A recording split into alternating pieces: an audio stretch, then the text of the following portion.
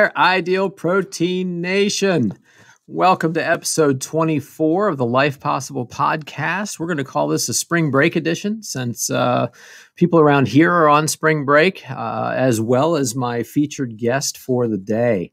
Um, I know that we're going to have even more new viewers and uh, listeners today. So I just wanted to really quick uh, talk to you about uh, the Life Possible podcast was created to spotlight successful clients, coaches, and clinic owners who have used the Ideal Protein Protocol to reset their body, reset their mind, and reset what's possible for their life. These individuals truly have had life changing experiences. And as a result, they're now pursuing goals and dreams they thought were dead and gone. They're pursuing goals and dreams they never thought they could. In fact, some of them are pursuing goals and dreams they never even knew they wanted to. So it's my hope that you will see and hear and connect with these individuals' stories and that you will understand that they're just like you. And if they can do it, you can do it. It's my hope that through this podcast, we can reach and inspire as many people as possible to, to take it full advantage of all that the Ideal Protein Protocol has to offer you, not just to lose weight, but actually to pursue life possible. Well, who am I and why am I even doing this? Well, I don't even know myself right now. Oh, there we go. Uh, we're going to go here. Oh, there he is. My name is Dr. John Barnes. And uh, you know what? I got to tell you, there's no easy way to put this. Uh, six years ago, I found myself fat, sick, and depressed. And actually, I didn't see a way out. I had basically given up. I thought that this was what the rest of my life was going to be. Um, and I'm not exaggerating when I feel like uh, God brought me the ideal protein protocol as both the answer to, to all of my prayers, both personally and professionally. Now, six years later, I'm happy to say I am over 70 pounds lighter from that initial weight that I am in that picture. And uh, I am pursuing my own life possible. Uh, over the past two years, I've been able to return to the sport of triathlon, and I'm living a life that I feel healthy, vibrant, and alive. Uh, it it's my hope and, and, and my desire to show everybody that uh, through my personal experience and through this show, the power of this protocol is more what it does for us on the inside than anything it really does for us on the outside. So, who do we got today? It's not about me, it's about them. Hey, hey, here we go. My featured guest for today is none other than Dr. Paul Wilson. Uh, you may recognize him. He's a very familiar face in Ideal Protein Nation. I like to call him an Ideal Protein Nation icon, uh, but he's very reluctant to assume that title. Um, so you may have recognized him from the banner that's on the Ideal Protein uh, corporate website or on Facebook pages. Uh, you might have seen his amazing transformation video that was released a couple of years ago through Ideal Protein. And for those of you who are regular viewers of this show, um, he somewhat appeared on episode 22 along with Mel Stack. Uh, she used the stand up banner that features Dr. Paul uh, as the backdrop for her video feed uh, from her house when we filmed her show. He's a 1987 graduate of the Howard University College of Medicine. And he's been practicing as a primary care physician now in Maryland for over 31 years. Today, he will share his unique points of view about the Ideal Protein Program as both a successful weight loss client, patient, as well as a primary care physician who understands the value of this program and what it has to offer his patients as they face being overweight or obese and all the metabolic related diseases uh, that they face, especially in this current pandemic climate. His message today is as much for the potential patient who might make the decision to change their lifestyle with ideal protein as it is for the practicing physicians out there. Uh, he hopes to change their view of their overweight clients. He help he wants them to understand that weight loss is health care that these patients deserve. And he wants them to seek out and refer those clients to their local ideal protein clinics. So, without further ado, I would like to introduce all of you to Dr. Paul Wilson. Hey, Dr. Paul, how are you? Hi, I'm doing great. Hey, so uh, I real quick, right out of the gate, I, I want you to tell everybody where you are filming on location, if you will, and and what studio you're using. I'm using the studio of my motorhome. That was motorhome in my video. Um, I'm in the Myrtle Beach area in South Carolina, enjoying the bright sunshine and the palm trees. It's a little yeah. cool the beach, but I'm still in, I'm enjoying it. Wonderful, wonderful. Hey, Megan Davis, if you're out there, Dr. Paul's in the area. Look out, he might just drop by. hey, so um, you know, one of my favorite uh, ideal protein clips of you is actually the most recent one that they just put out. A wonderful two minute video uh, that kind of summarizes the whole program. And they spotlight a couple of uh, successful clients. And um, if I were to ask you, Dr. Paul, what what has been your experience with the ideal protein program and what has it meant to you? How would you sum that up? I would say, as I did in the video, that it may sound melodramatic, but Ideal Protein actually saved my life. Yeah. Yeah, and it's amazing. We're going to talk about that in depth today um, because this is a story that I think a lot of people need to hear. Uh, and and there are parts of it that I didn't even know until we started working on the show two weeks ago. Um, back in 2016, though, is is when you started your ideal protein journey. And and what was the starting weight that you you started the journey at? I started at 420 pounds. 420 pounds, and from from start to finish, that uh, that initial weight loss was how many pounds? Dope. Right, right. At, you froze right at the punchline. Hang on. 85 pounds. 185 pounds. 185 officially. pounds. Wow. That's unbelievable. So, yeah, we're going to talk about how you got there in the first place and uh, what it was like going through the program as a patient yourself, and then uh, what your life is like now, both uh, as a practicing physician as well as what you are doing with your life possible. Uh, let's let's kind of go back to the beginning and let's let's talk a little bit about um, your ups and downs as far as uh, your struggle with weight and dieting? Well, I started out as a youngster being pretty slim, you know, until I hit puberty. So that picture in the graduation cap and gown was my eighth grade graduation. I was 13. Okay. And that's a hallmark because that's the time in my life where they people first started calling me fat and fatso. Gotcha. Because I was chubby, I was smart, I was not athletic, and I was a target. And so that's where I trace it back to where my struggles began. Hmm.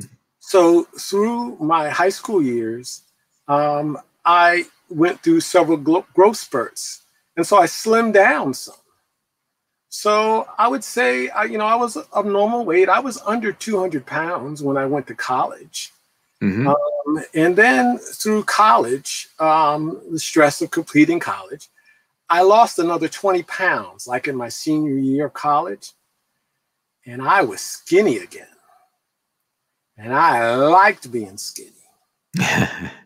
I mean, I'm talking about waist size 32 and I'm 5'10 yeah. and a half. Yeah. Yeah. So um, I kind of got, uh, you know, used to that, liking that. However, I did medical school next. Okay.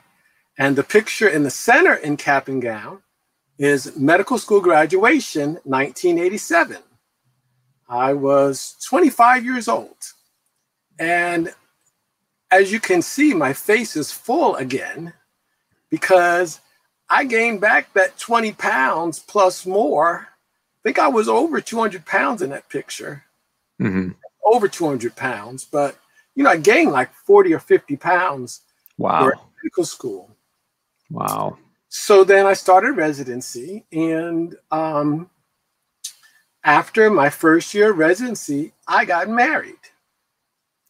So uh, my wedding picture there, that's my wife. Yeah. Yeah. My pastor. Um, I went on the cabbage soup diet. The cabbage soup diet. it, I always was looking for the next diet that was going to get me slim again. Yep. And uh, the plan was to wear white. And so I didn't want to look like a white elephant. So oh I went on a diet um, that, that I was recommended. And I lost weight so fast on that diet because I was one who could stick to a diet now. Yeah.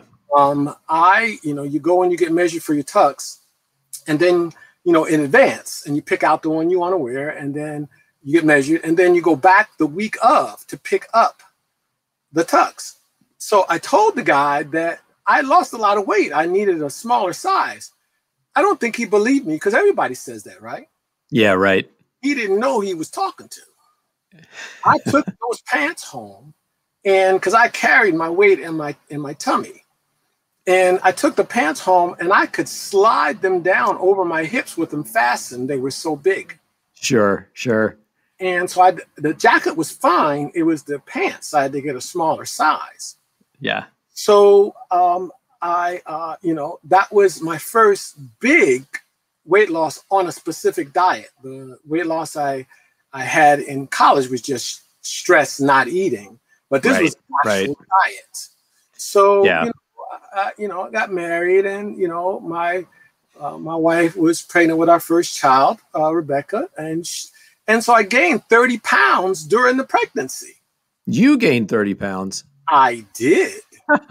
Funny how I, that happens to us guys. I eat my feelings, and I definitely was eating my feelings because uh, I am family medicine trained, uh, proud graduate of the Georgetown University uh, Family Medicine program. Uh, and uh, I did in family medicine, traditional family medicine, you train in obstetrics. Mm-hmm. Okay. So okay. I did my fair share of babies. And I was actually pretty good at it. But, you know, family doctors don't deliver babies. Uh, yeah. It's kind of in the past. Anyway, you know, when it was my baby, I was a nervous wreck. Yeah, right. You know, all of the things that could go wrong. And so I ate my feelings and I gained 30 pounds. Wow. wow. So after Rebecca was born, I did Slim Fast. Oh, there I, you go. I could have done a Slim Fast commercial because I went, my weight drops, you know, because, you know, most reduced calorie diets will work if you stick to it. And when I stuck, I stuck to it. Okay. Well, you know, I'm going to stop you here because during our pre-interviews we talked about this a little bit. Um, you don't suffer from a lack of willpower, no. like you said. When you when you put your mind to something, you're going to do it, whether it's good, bad, or ugly, right? Especially as it related to my weight. Yeah, I just couldn't keep it off. Well, and the other part of it was too, you shared with me uh, something that will curl everybody's hair when you were saying that you were judging how well you were doing uh, on your diet by how hungry you actually were. And that was a good thing. Yeah, because I thought that not eating was the solution to my problem. Yep. I thought food was the enemy. So if I was hungry, that meant I had a good day. Yeah, right. And I didn't overeat. That was my only way to judge whether or not I had eaten too much. And so, you know, I was constantly hungry. Mm-hmm. You know, uh, but I I dealt with it because the weight was coming down, and uh, the thing that I didn't know uh, and didn't put together that I wasn't just losing fat, I was losing muscle, and I was never a muscular person. Right. So that was what was setting me up to gain it back because muscle helps you burn calories. Yep. So I was after the Slim Fast diet, I was what I would call skinny fat. I was still kind of chubby looking, but I was smaller, mm-hmm. but still chubby looking. Okay? Yeah. And um, I became a dad. That's that the picture in the middle. My life's greatest accomplishment. Mm-hmm. And you know, you can see now. I was recounting the Slim Fast story was when Rebecca, who's my oldest there, uh, she was a little girl. She was a little baby. Okay, when I did Slim Fast. Yep. You see, yep. by the time she's, you know, 11 or 12, somewhere in there, she, I'm, I'm, I'm heavy again. Yeah, you're gaining it back. Okay, I gained it back. Now, um, my son Paul is the, is the little one in the middle picture. You can see him on the right with me. Now, between that, and you can see the time with looking at him, okay? Yeah, yeah. I worked out with a personal trainer. Now, he really helped me because he did give me advice about nutrition. My first time mm-hmm. really kind of incorporating good nutrition into my program to lose weight. And I was amazed at the fact that I had come down in size, but not much in weight. Mm-hmm. Because the program that he had put together, and we did like a boot camp thing, all of us, you know, wanted to slim down. We didn't want to bulk up. So right. He fashioned the exercise so that um, it would help slim us down, but not bulk up our muscles. However, mm-hmm. I did build muscle because he did make sure that we had adequate protein in our diets. That's Plus, awesome the intensity of the workout required me to eat because if I worked out with him and I didn't eat, um, you pass out. Yeah, you know, right. Glass. Okay. And yep. it brings up an analogy that I uh, I use with my patients who get are frustrated because they work out like a champ. You know, they're in mm-hmm. the gym three or four days a week, and nothing's happening. You know, they're not getting rid of the fat and I tell them, you know, um, uh, fat on your body is like having a gas can in the trunk of your car. The gas is in the car, but it's not accessible to the engine.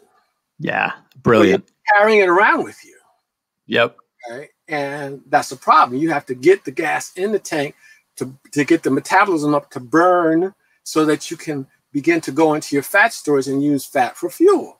Yes. I mean, that was the uh, you know the connection that I made, and I know because I tend to um, save clothes because I don't wear them out because I don't stay small enough to wear them out. you know, getting in clothes back then. This was my early 40s. This was almost 20 years ago. Um, yep. my son's 24. Um.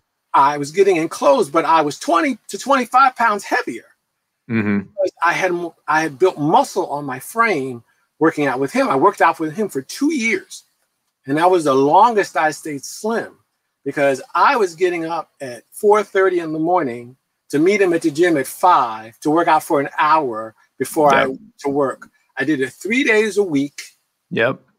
For two years, I paid him a dollar a minute. you do the math. I put mm-hmm. my money where my mouth was. Okay. Because I was determined that I was going to be slim again. Yeah. So I did what it took. And um, between that time and that picture to the right, you can see that I was heavy again. Yeah. And that's, you know, it's it's a struggle and it's very frustrating for a lot of people, but when we use exercise as one of the primary methods for losing and or even maintaining weight it's if it's if it's unsustainable if we stop you know what, what's going to be the the ultimate result there right the other thing that i know is that exercise has to be fashioned in a way that helps you meet the goal whatever goal you have Boom. And that's yep. the thing. It's one of my pet peeves about doctors when they tell their patients to eat right and exercise. Well, I know we're going to talk about the nutrition part, but exercise how? Yeah, right. There's one way to exercise to get one result, another way to exercise to get another result. That's why the personal trainer was so valuable to me and helped me meet goals because he fashioned the exercise to how I was responding and he yep. made adjustments as I went along. The importance of a coach. Absolutely. Absolutely.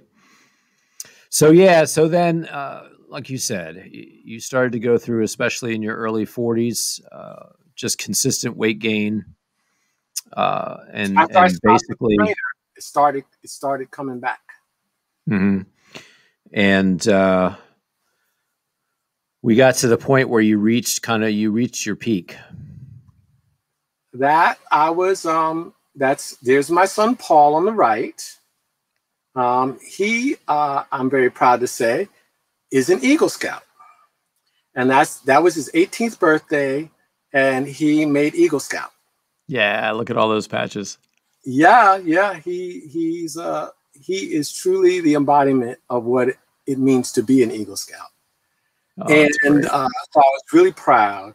Um, but if you look at the look of my face, to me, I see somebody with straining the smile. Yeah. Um, it was it was a hard time for me. Yeah. Picture on the left is me and my brother and my sisters and my mom. That was her 80th birthday. Okay. okay. Yeah. Yep. That's that is uh, September 19th, um, 2015. Three months before I started on IP. Gotcha. Uh, and it was my mom, a couple of months after this picture was taken, who helped me change on the inside because the guy on the right had pretty much given up. Yeah. And I stopped pushing back. I always pushed back. I never let it get so far out of hand.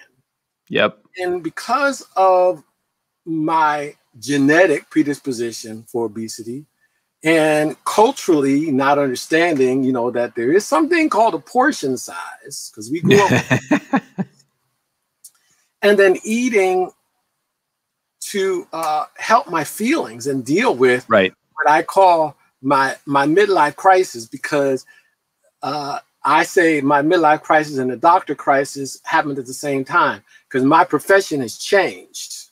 Yeah, yeah. that was difficult for me because I was trained by old school family doctors. Back in the 90s, I made house calls. Yep. Because I uh, thought that's what I was supposed to do. I'm a family doctor, you right. know. And so I think that that was where I um, was using food to help me to cope with with my feelings and and my disappointment in how my career had turned out you know because i hit that 25 year mark 2015 was 25 years out of uh, residency. Mm-hmm. And this didn't turn out the way I thought it was going to. And you know, so, we and I'm going to stop you here too, Paul, because I think this is so poignant. Um, this isn't even in our outline, but I was hoping that was going to come up because we talked about this uh, previously. You know, when you go to med school and you, you're becoming a doctor, you go into it with a certain uh, idea of why you're doing this, right? You're doing this to help your patients to save humanity to to do and be all these things and um, you know whether it's med school or chiropractic school and somewhere along the way practice has a way of of wearing you down and what you thought it was all going to be is is not really how it turns out and we share that we we share that part of our story because that was it was the anxiety and the depression of of coming to grips with that reality that got us both to our our obesity? Because medicine has morphed into a business. And it's never going back the way that it was. So that's where I had to change my attitude and not take it out on myself, you know, and not yeah. uh, use a very ineffective coping mechanism. But right. it was my mom, who is a registered nurse, old school, who um, kind of snapped me back in a moment into uh, reality.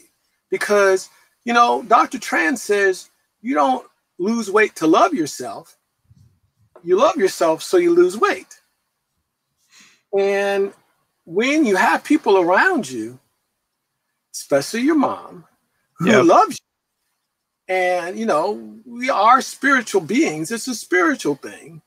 Yeah. And in a moment, she I went to visit her and she grabbed me and she was just unconsolable because she was so worried about me. And that that display of her love towards me changed me in an instant. And wow. I knew that I had to do something because I felt trapped in that body. I didn't know how I was going to get out of there.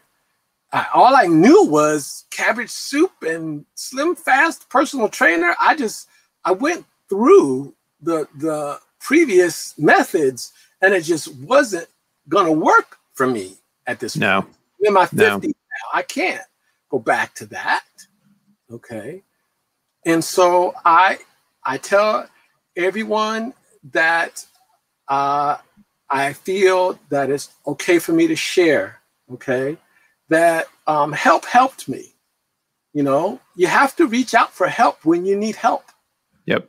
And I had been seeing a therapist for depression.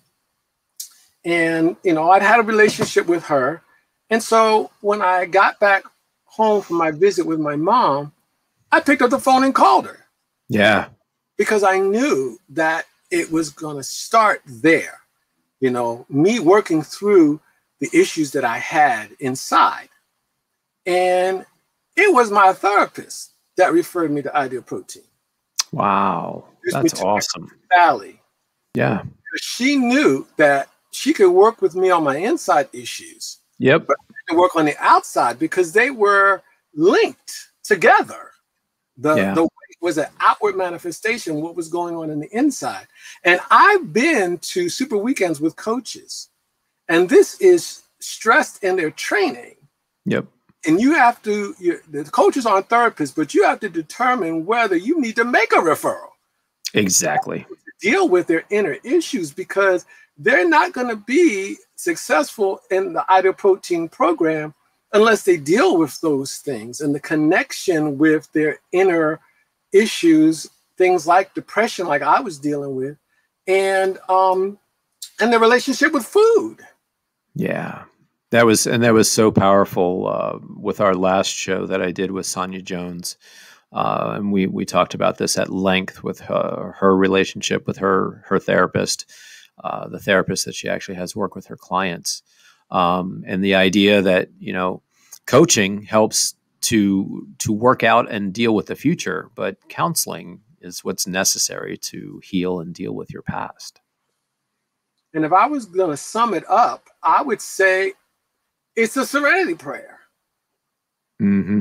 Accept the things you can't change, change the things that you can, and ask God for the wisdom to know the difference. Yeah, I love that. That kind of sums it up because it sure does. I can't change, but my weight I could change that. Yep. Yep. Absolutely. Fantastic. And so this is how you found Ideal Protein. She referred me to the website. So I went on the website and I read it. And light bulbs went on all yeah, over right. my head. Okay. because it explained the physiology of weight loss. Yep. And and connected knowledge that I already had.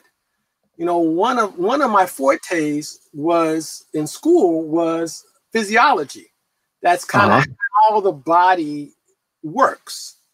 And I was good at that because it tells a story. So you have to know the story, you learn the story, and then you ask answer questions about the story. Mm-hmm. Versus anatomy, which your field is like expert in that. You know that stuff cold better than I know the gist of it. I don't remember the details. Yeah. of it. But um, that's rote memory. Yeah. So I was better at physiology. And the physiology is what Dr. Tran explained. And I knew when I read it that it was going to work for me. Yeah. Because he talked about the protein, he talked about the muscle, and when I walked into Sally Nash's office, I already knew I was going to sign up. I went to a free seminar, you know, Uh-huh. seminar, intro seminar. Yeah. But I knew there were other people in the room. It didn't matter. She was going to have at least one person to start. I had never heard of it before. Okay. This was my first time uh, hearing about it. Uh-huh. So I went on the website. I, I looked at the program. I looked at the closest clinic, and she was the closest clinic. So I showed up at the next uh, free seminar, and that's where I got started. And I tell you, God was was guiding you there, right? Sally is is she's a legend in ideal protein, at least in the DMV. Uh, just a, an incredible uh, coach. She, um, I, I, I owe her. She she helped me out of a jam when we were at a, an ideal protein conference. I was one of the few experiences I had with her, but just a wonderful, wonderful person. And I, in talking with my relationship with Sally, I really, really want to emphasize the fact that she connected with me as a person. Yeah, let's talk I, about that. I've had to deal with the fact, and part of my journey has been being this person, persona of Dr. Wilson. Yeah. And we all have a work persona. But, you know, doctors, and I found out I'm not the only doctor who falls to this. No, you're not. Being Dr. Wilson all the time and not being Paul. Right. And there's a lot of Paul and Dr. Wilson, but you know, you're supposed to turn that off and take the white jacket off and go home and be yourself. And I was so on as Dr. Wilson that I didn't spend any time um, developing relationships and uh, letting people get to know Paul. Paul, yeah. And Sally saw through all of that. Okay. She knew that Paul was hurting and that Paul needed a friend and that Paul needed help with this problem that he was having with his weight. Um, she did not treat me like Dr. Wilson. I have learned, I learned over the years to be careful about telling people what I do for a living because their attitude changes. Yeah, right. Mystique about being a doctor. Mm-hmm. Grew up in a blue collar household, so there are no doctors in my family. But as I got into the profession and I saw how that was, it took me some years to figure that out. Why is it that people had this reaction? And it's just the way that people look at doctors. Yes. So she didn't treat me, and and we doctors have the same problem now. Okay, because we uh, are admonished when one of our colleagues comes to see us to treat them like our other patients because we tend to not treat them like other patients. Oh, he already knows. Oh, he should know this already. Mm-hmm. And no, mm-hmm. I need a doctor wow. to be a doctor. And fortunately, I have great doctors that are my doctors.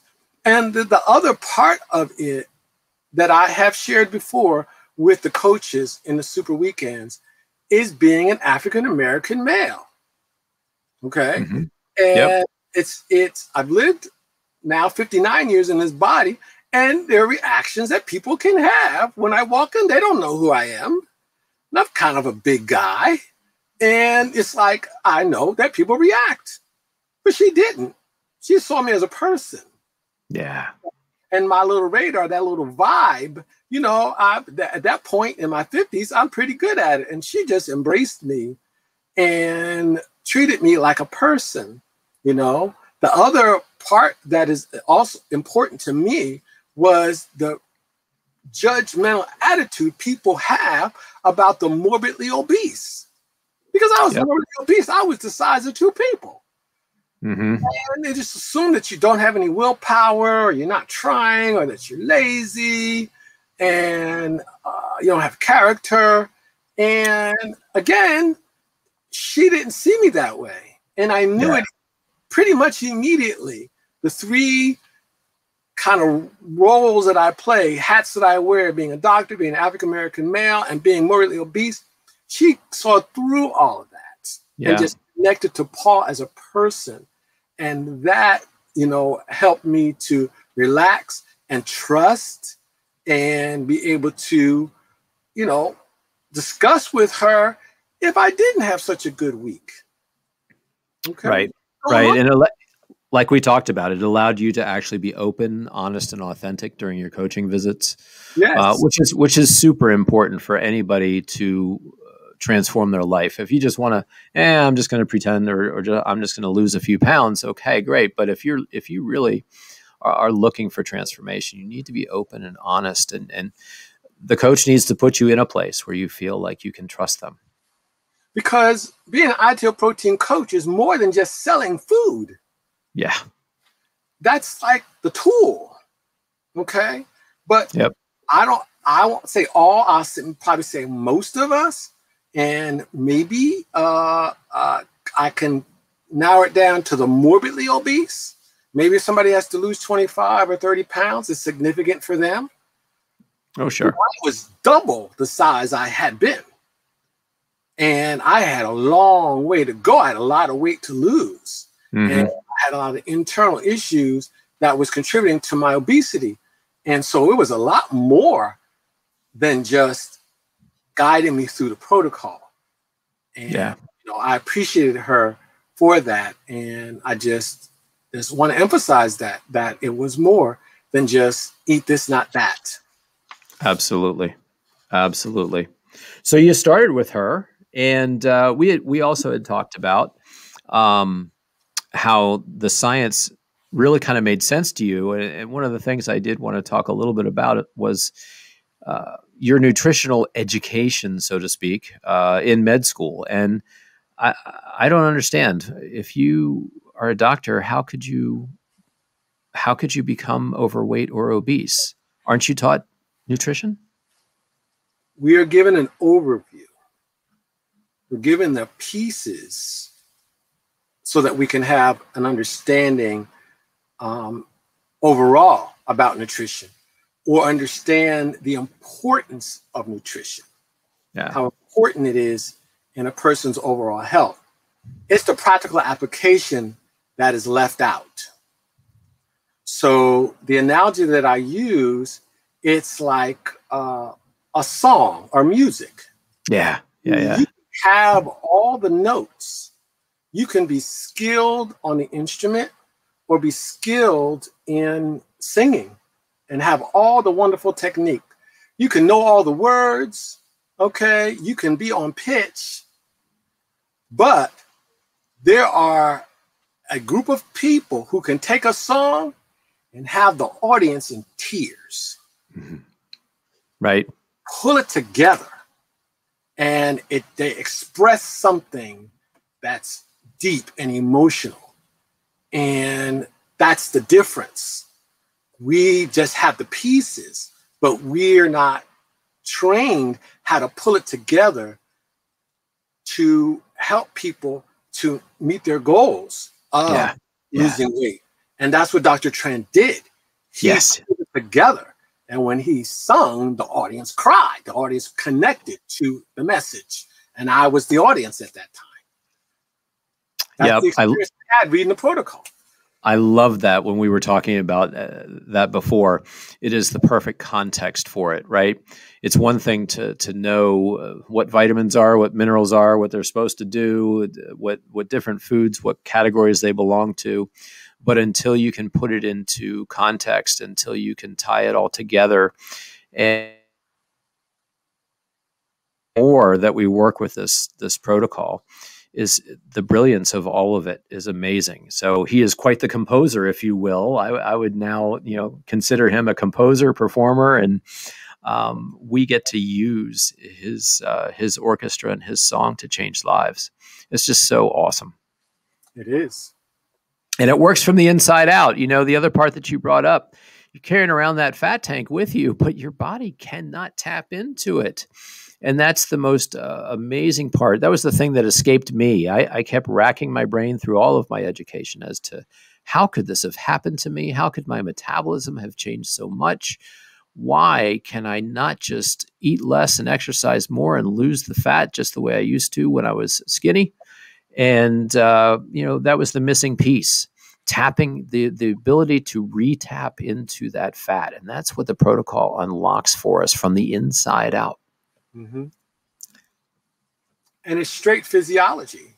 Yeah. Well, it makes sense because uh, the body was designed to be anabolic. It was designed to build. It was not designed to be catabolic, to break down. So you have to manipulate it in order for it to kick it over and onto the catabolic side to break down because the fat is there for emergencies. That's the reason why you can go on a reduced calorie diet and your body pushes back. If you push it far hard enough, like I did, you won't just lose fat, you lose muscle because your body wants to preserve the fat. And that's why I was skinny fat. Yep. So, uh, to go back, we're going to get back into the deep part of your story. So, this for you, uh, when you had reached your peak weight, there was also another underlying factor that was uncovered during this this time in your life, uh, health condition that uh, you were diagnosed with. Tell us about that when I was in my 20s, um, I first found out that I had uh, a propensity to have an elevated blood pressure when my weight was up. And one of those times that I had gained weight and I was working to lose it, you know, I had an elevated reading. It was quote unquote high normal, not in a hypertensive range, mm. but uh, enough that I needed to follow up. And of course, I lost weight and then my blood pressure normalized. But when I got to my late 40s and I started putting that weight on, my blood pressure went through the roof. Mm. I'm talking about systolics at, at 220. Wow. I had no symptoms. Wow. Oh, that's why we call it the silent killer. I right? had zero symptoms. So I went to the doctor because they they told us in medical school any doctor who treats himself has an idiot for a patient. I did that.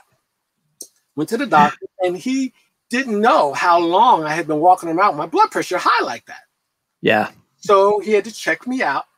And I found out that I was born with a bicuspid aortic valve. Uh, the aortic valve is supposed to be tricuspid or have three leaflets. Mine mm-hmm. was bicuspid, only had two. The problem with a bicuspid aortic valve is that it wears out prematurely. So I started going to the doctor regularly to get my blood pressure under control. And then I, because um, initially it took him four medicines to get my blood pressure down. So wow. uh, I started on Ideal Protein. I, I, lost 185 pounds. My blood pressure improved, but uh, I still had to take medication. Uh, mm-hmm. I took less, but I still had to take something. And over these years that I've been through the program, the doctor's been watching me regularly. And at the end of 2019 is when I, um, when he told me it was time to uh, replace the valve. It had deteriorated. Okay. So this is two years ago. Almost, almost two years ago. It was almost two years ago. 2019. Actually, I it, I went for an evaluation for the uh, aortic valve replacement right before the pandemic hit. Gotcha. So it was like late January, early February of 2020. Okay. Was when I went to confirm, I went to the specialist and confirmed that it was time to replace the valve. Because the other thing about me is that um, I had no symptoms of the abnormal valve either. Mm-hmm. You know, and that was the point the doctor wanted me to have it replaced before I started having problems. Yep. Yep. Because I had a second problem in addition to the valve. The root of my aorta, as the aorta comes off the heart, was dilated. A dilated aortic root um, puts you at risk for aortic dissection, which is a cause of sudden death. Yeah. So yeah. with dilated aortic root, I needed to have an open heart surgery versus the one I originally thought I would be eligible for, where they feed the new valve through your groin into your heart, catheterize uh, the, the heart, and the valve opens up like an umbrella. They don't have to open your chest. But because of the, the dilated aortic root, I was recommended that I have the open procedure and do both at the same time. Wow. Wow. Okay. So knowing that when I was over 400 pounds, there would have been no way that I would have been a surgical candidate. Right. It right. been too high of surgical risk because knowing more as a doctor isn't necessarily a good thing. Um, because I knew what it entailed. It would entail surge, open heart surgery would entail stopping my heart and putting me on the heart lung machine. Wow. And a 420 pound man, there's no way that they would Yeah. do that. Okay. That is not going to happen. Yeah. Uh, and uh, because of the fact that I had greatly improved my nutrition through the Ideal Protein Program, I did well postoperatively in terms of recovering from my surgery. So, So- yeah, so this is something that I, I want to stress uh, with all of our viewers and listeners. Um, you know, number one, having accomplished the weight loss that you accomplished by doing the program, that actually made you a candidate for the surgery. Mhm. But it's one thing to be a candidate for the surgery. It's another thing to actually go through and recover from the surgery. And so, tell us about that. About how was your recovery? What, It it was not easy, but I recovered like on schedule. yeah, yeah. The days immediately following the surgery, you can't use your upper extremities, you know, and uh, because you know I had the big incision down the center of my chest, so you in order to be able to stand. At first, I couldn't even stand on my own; I was so Mhm. weak. yeah. But in order to stand, you have to use your legs. And I had a pillow to hug, and I had Mhm. to learn how to rock and stand up. Oh my God, that would have been possible at 400 pounds. Nope. And the fact that I had started exercising, walking and riding my bike and swimming, um, and the fact that I preserved my muscle, Yeah.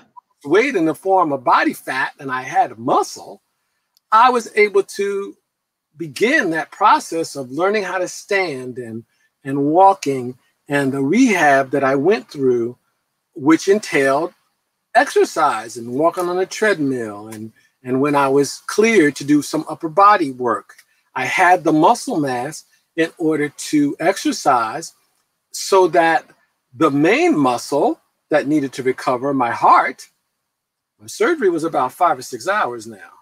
My heart was stopped yeah. for quite a long time. Wow. So it had to recover, right? So I went through cardiac rehab and I had to use the rest of me in order to exercise my heart. You know, you wear a monitor in rehab and you have to um, get your heart in the target heart rate when you're doing the cardio portion. And they Mhm. slowly increase you to increase your stamina and your endurance. And so that was critical in my recovery. The other part, again, was the healing of the tissues, the healing of my heart, the healing of my chest wall, which had to mend uh, because I changed how I eat. You know, I don't eat a bunch of junk food. Or, right? you know, I eat my two vegetables twice a day. You know, I have my supplements. I drink the water.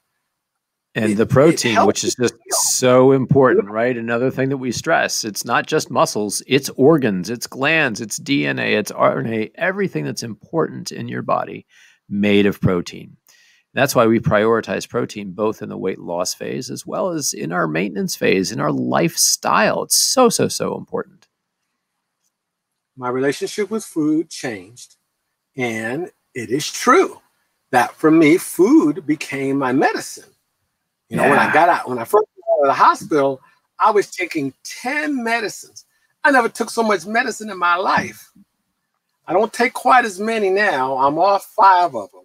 Okay. Wow. And one of the ones Yep. I take is the aspirin. I have to take the rest of my life. But, you know, I, uh, it, it was medicine. It was critical in my recovery, you know, from this major surgery. Yeah. So, yeah, n- now that I've filled in the details of my story, it's not so melodramatic. It's saved my life. Absolutely. Oh, 100%. You know, it, was, it was more than the weight that I lost, although that was critical. It was my lifestyle change where I was exercising, I was fit because when I tell people I've had open heart surgery, the first thing they think of is that I had heart disease. You know, that I had maybe a heart attack and I had clogged right, arteries, my heart, yep. my coronary arteries, that I had a vein taken out of my leg and put up in my heart. I did do not have heart disease. Okay. Right. Yep. I my coronary arteries were clean because I had a cardiac catheterization the day before my procedure because your coronary arteries are attached to your aortic root. So the surgeon had to detach my coronary arteries and attach oh them to, God. to my new parts. Wow. So he had to know what he was dealing with, whether it was plaque or blockages. Totally clean. Okay. Oh, that's to my doctors and ideal protein because yep. I changed before I developed heart disease. Wow. And so that's, that's was critical. So, yeah, I don't have heart disease. I just have a new valve. Yeah, that's awesome. So my heart is was very healthy. You know. That is amazing. Well, and the other thing that I the other thing I've been waiting for you to say too that I thought was so poignant uh, in our pre-interviews was um, basically you've had your normal life expectancy restored through this program. That was the other thing that I mentioned a few minutes ago about being a doctor and knowing more. Yeah. Okay. Knowing knowing too much. knowing too much. Okay. And um, I know that if Ideal Protein hadn't come into my life, my life would have been shortened. I would have developed heart disease because you have valves in your heart for a reason.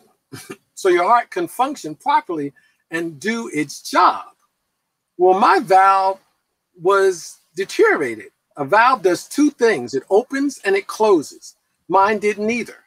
Mine mm. didn't open all the way, so the opening was narrowed. So my heart would have to work harder to pump through that narrowed opening and it wasn't closing because it's yeah. supposed to close so the heart can fill up with fresh blood to prepare for the next beat. But I had backwash.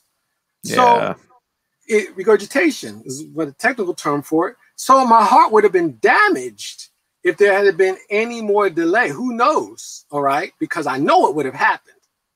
If I had to presented to that valve specialist at 420 pounds, he would have said, You're not a candidate for this. Yes. And right Referred to a bariatric surgeon for some kind of surgical procedure for weight loss.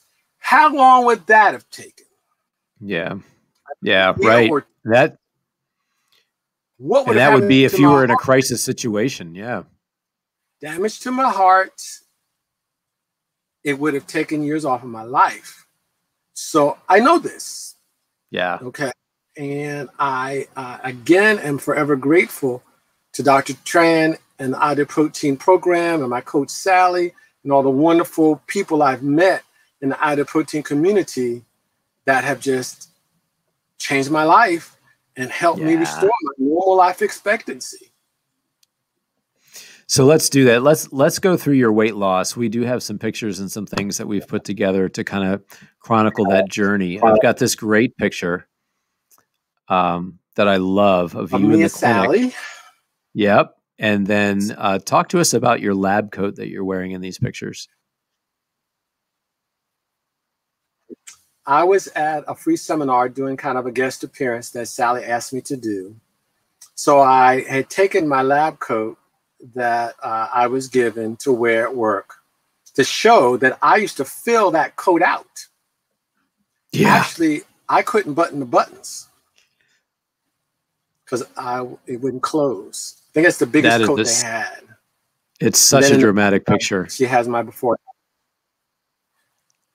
Uh, yeah. You know, uh, when when I do it, I do it. It seems to be extreme, but you know, I I did have extreme dramatic weight loss at younger with these diets, but then I had mm-hmm. extreme mm-hmm. dramatic weight. Gain. So, so then the other story that I the other mm-hmm. story I really love is when you reached your 100 pound weight loss milestone, uh, you gave yourself a, a, reward. Talk to us about uh, what was this reward that we're showing here on the screen? That's my convertible. Um, I started Ideal Protein phase one in January. Uh, oh, I lost you from the feed. January what? Uh, 2016.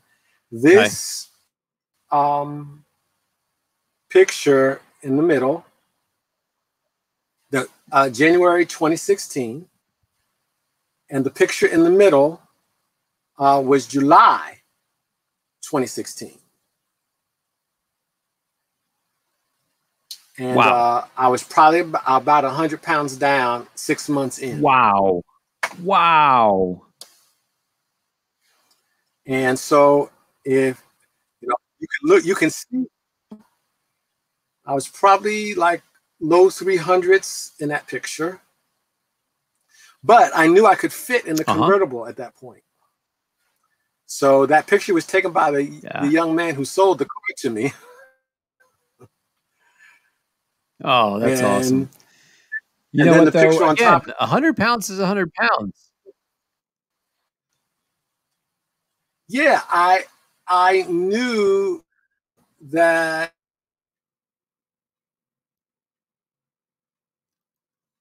Nope, I lost you again. It was time for me to live in my.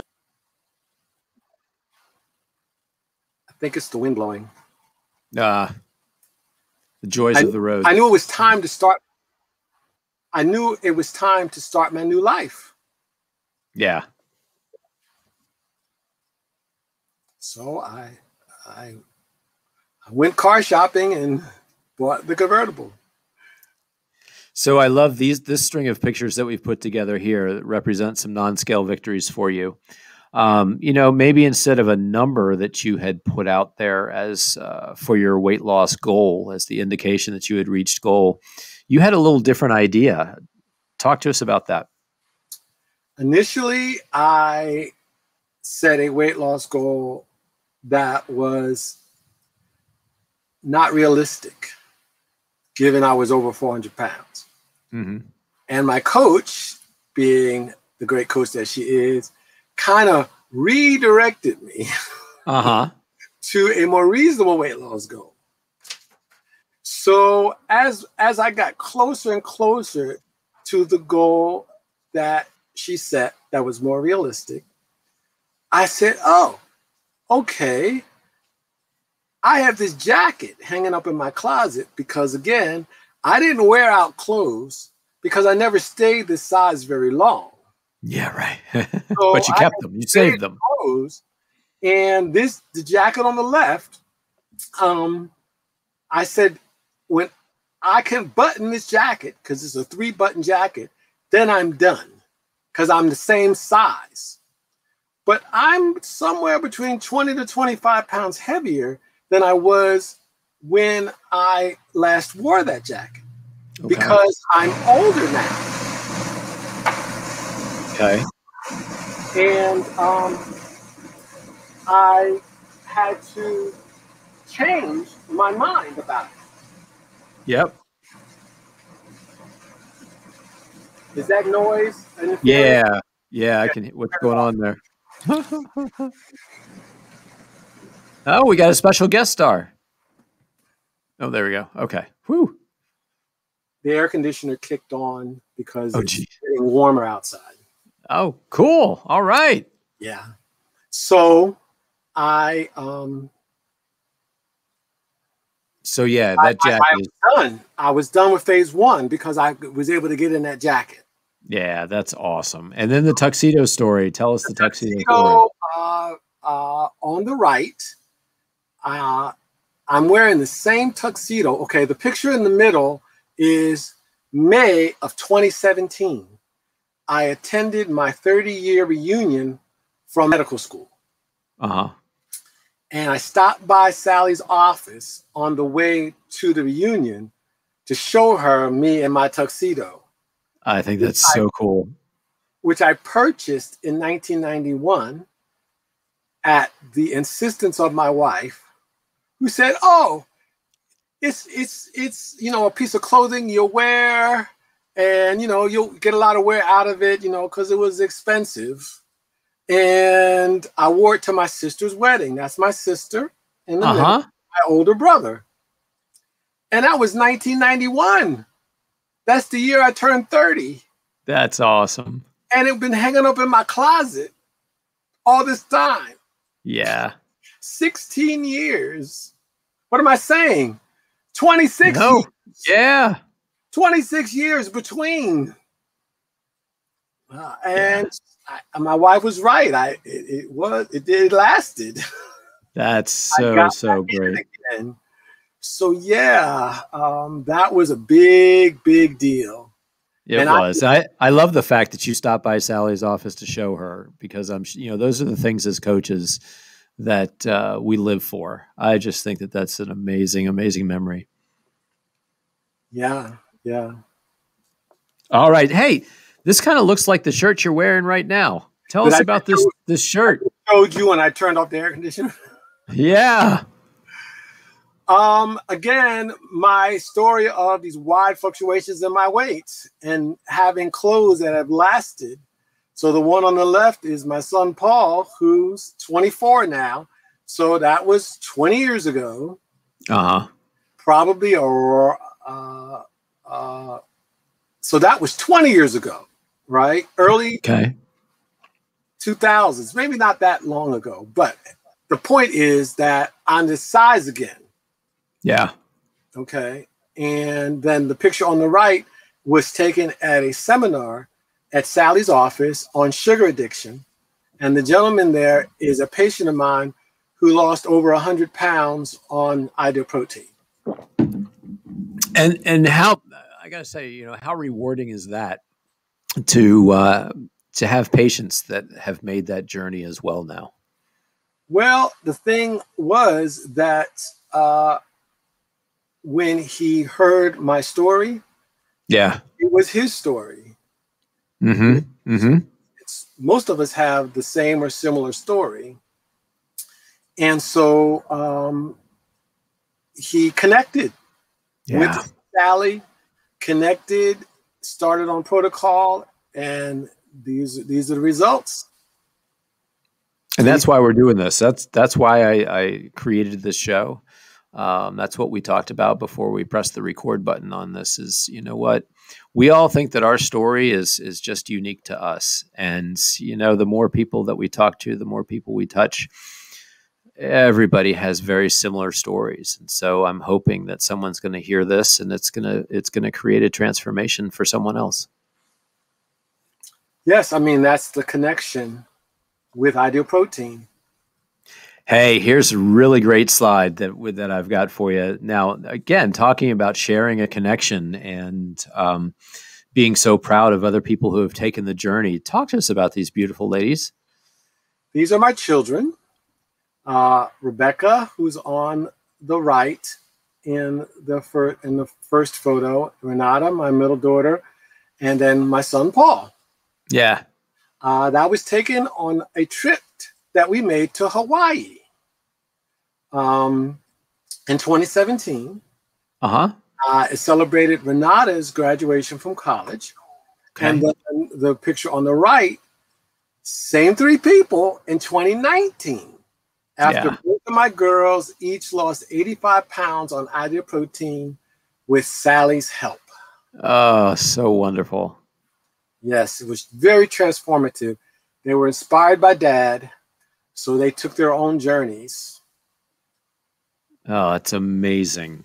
Um, and and very impactful on their lives and or possibly their careers. You shared a story with me. I do want I'd love for you to share with everyone. Well, I'm 0 for 3. None of my children want to be doctors. All their degrees are in the arts. Uh, and so my, my oldest daughter, Rebecca, um, sh- her degree is in uh, theater education.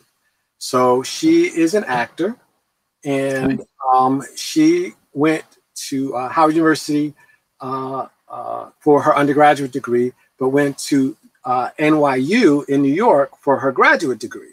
Wow. Pretty prestigious. You know, a lot of yeah.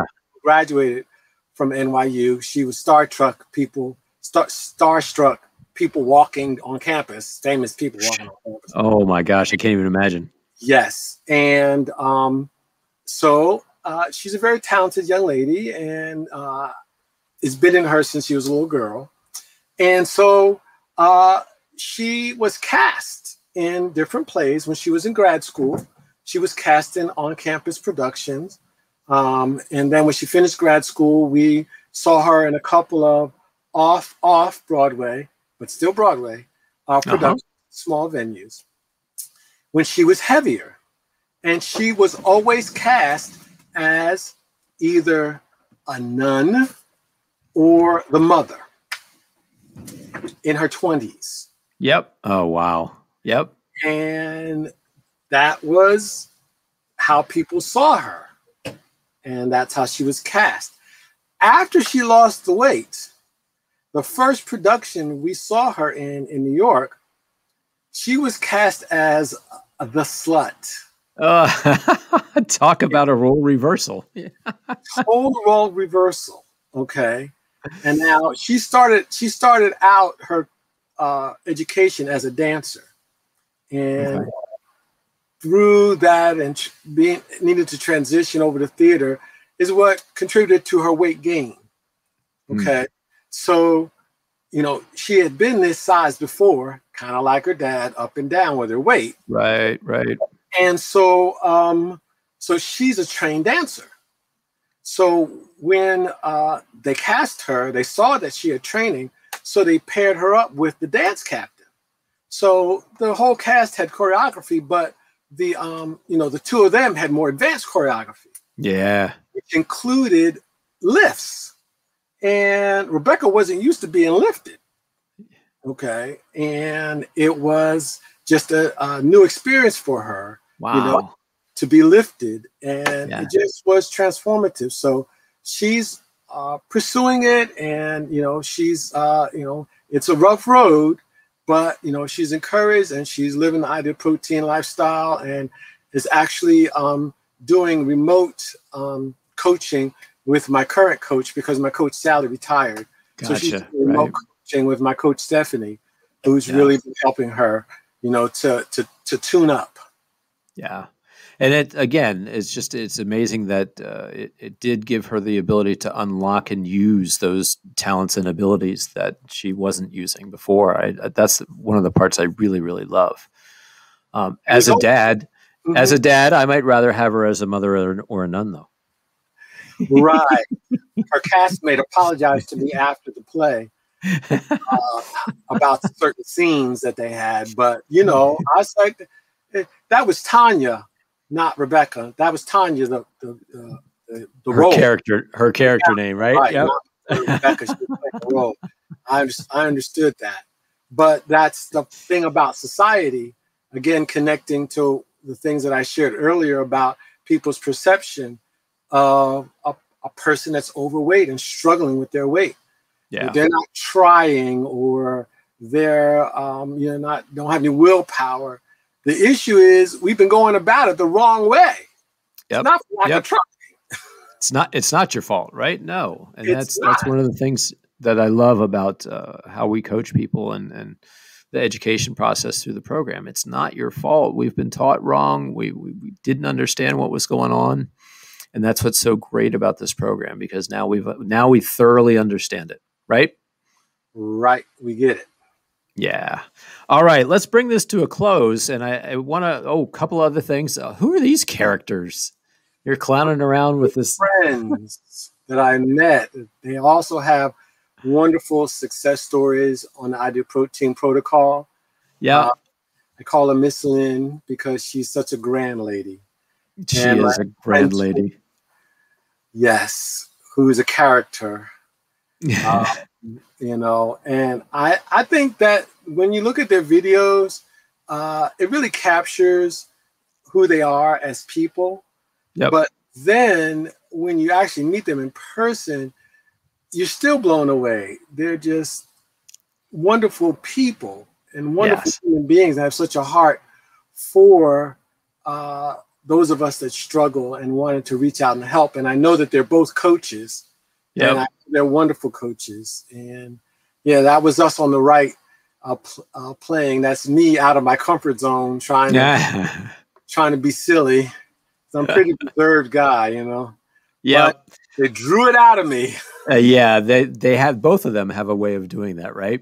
Yeah, you know, it was it was so neat when we met. Um, it was that Dallas Super Weekend uh, that is so legendary in my heart, and uh, to see the three of you together, uh, to to actually, I believe that might have been the premiere of Tooney's video. Um, not a dry eye in the in the house. Oh, it's a tear. Um, oh my god. And uh, but yeah all three of you are just such great ambassadors f- for the ideal protein program. And i can't wait until uh, we can travel again when we can all get back together. I have the uh, i have the uh, honor of having lynn in my office two days a week coaching clients for us and and that's great but uh, and i get to to talk to Tooney from time to time by zoom but i'd love to get all of us back in a room together Yeah, I'm looking forward to it. So this last slide we have put together gives people the uh, the exterior context for your rolling studio, if you will, that is down parked in Myrtle Beach. Um, tell us a bit about this uh, this RV. Well, it's a Class B RV, meaning that it is uh, in a van that's converted to a fully self-contained unit. Okay. So this particular segment of the RV industry is very popular right now because it's compact and uh, you can park it in a parking lot. You can park it in front of your house where it's parked there in the picture. And it has all the amenities of the big rigs. Yeah. Um, so I'm actually sitting in the back uh, in the bench area that converts to a bed. hmm And, um, it is my new lifestyle that I want to pursue. Um, and I'm really enjoying it because with all the weight that I lost, you know, now I can actually fit in it. Yeah, that was a huge deal for you. You you couldn't have been able to do this your former self, right? I would be, be standing in uh, the aisle, which is right behind me. Uh, Uh-huh. There was no way for me to turn around in it. And the bathroom is pretty small. One of the things that people don't necessarily like about Class Bs, but I can fit in it. Yeah. And that was a major, major uh, step for me where I could see myself in it and then fulfill that dream because I've always dreamed of owning a motorhome and we had travel trailers and did RVing when my children were growing up. But now that they're all grown, you know, now I can move on to the motorhome. And this is definitely a fulfillment of a dream Yeah. um, uh, I really um, am enjoying the lifestyle and have plans to uh, drive my convertible on the uh, West Coast Highway. Maybe next summer, I'm going to buy a trailer to tow Oh wow. my van and put my car on it and drive across country. That's Head what- across country. Woo. I want to see the Grand Canyon. Yeah. And, you know, those are my two number one and two things on my bucket list. Love that. I'm going to figure out how to take my bike with me too. Um, Mhm. And I have it with me here. So I've been riding around Oh, that's great. So it's been great. It's really, uh, really a beautiful uh, campground. So I'm enjoying that. So it's all new uh, for me to, uh, what my mom would say, expand my horizons. And uh, it's all things that at one point I we could say that I didn't think was possible Right. but the weight loss with through the Ideal Protein Program has made it possible, and I'm living. Absolutely. That's so awesome. That is such a such a fantastic uh, vision of of what life possible means to you and and could mean for other people. All right, Paul. Thank you so so much for your time. Again, You're I especially I especially thank you for taking this time during your vacation. Well, this was the best time, I think. Yeah, it was it was nice. You probably wouldn't have had the opportunity or, uh, to spend as much time with us preparing it, et cetera. Um, so I'm so glad that this worked out. And uh, uh, like I said, I, I look forward to a time where we can hang out together. You know, again, you're just in Maryland, and I I blame myself for not calling you up because we've we have other conversations that we were going to catch back up on from Dallas. So this is the beginning. yeah, yeah, yeah. So, um, so you go back out there and enjoy the weather, enjoy the beach, and uh, like I said, we will be in touch. Thank you so much for spending this time, and uh, keep living your life possible. You hang hang back hang back in the studio. I'm going to wrap the show up, and we'll we'll finish talking. Okay. Thank you. All right. All right, ladies and gentlemen, Dr. Paul Wilson. What an amazing show. Uh, what an amazing person. Everybody who meets him loves him. And uh, I, I, hope that now you feel like you've met him as well. Uh, very open, very authentic, and uh, sharing some things that, that can be hard to share. Um, especially as a doctor. And I thought that that was very neat the way that uh, he contrasts his his life as Dr. Paul versus his life as Paul um, hopefully people will connect uh, with parts of his story and, and start pursuing their life possible. So, as always, uh, please like, share, subscribe to uh, the podcast. We are on video both in Facebook and YouTube, and I am also the audio version of the show is on iTunes, Spotify, Google Podcasts, and other places where you might get your podcasts. Um, I'm working on future shows. Uh, and I'm, I'm, not not yet ready to tell you who our next guest is going to be, but darn it, anyhow, they're going to be amazing because all of these people have been. So until we meet again, keep pursuing your life possible.